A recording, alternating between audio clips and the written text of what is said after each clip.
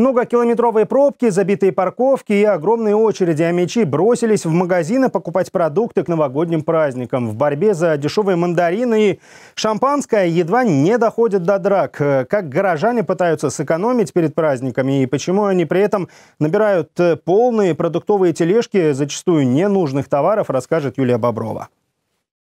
Екатерина Чернакова – студентка и экономит на всем, в том числе и на продуктах. Бюджет у нее ограниченный. Чтобы быть в курсе всех скидок и акций, скачала специальное приложение на смартфон. Уже год ориентируется по нему. За молоком идет в один магазин, за фруктами в другой. Говорит, это уже стало принципом. Зачем переплачивать?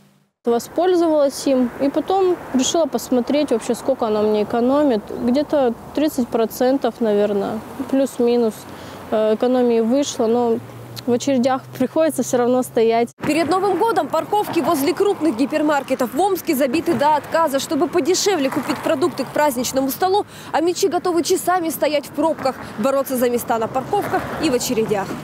Крупные сетевые магазины делают новогодние скидки, а для покупателей это повод для конфликтов. Прилавки мгновенно обрастают очередями. Здесь есть даже продавцы с рынков. Берут продукты по скидке и продают у себя на базаре гораздо дороже. И клиентов у них меньше не становится. Люди покупают, не подозревая, что переплачивают в два раза. Маленько там, маленько в другом месте.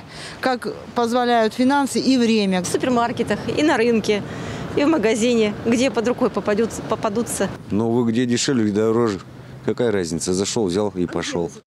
При этом по статистике падение доходов амичей за год составило примерно 10%. Банки уже предлагают кредиты на продукты, а все больше людей охотятся за скидками, которые, как уверяют маркетологи, не так уж выгодны. Из-за заманчивой цены люди набирают слишком много товаров, часто ненужных. Это легко объясняется психологией. Один только вид полной продуктовой тележки внушает ощущение уверенности в завтрашнем дне.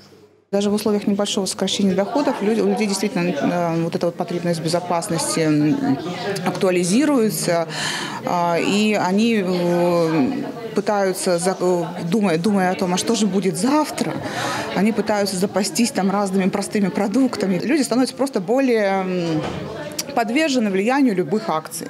Купи сейчас, а то завтра будет дороже. Человек думает, точно. Чтобы не потратить баснословные суммы в праздники, специалисты советуют заранее составлять список товаров и идти с ним в магазин только через пару дней. За это время можно понять, что половина продуктов вам вовсе не нужна.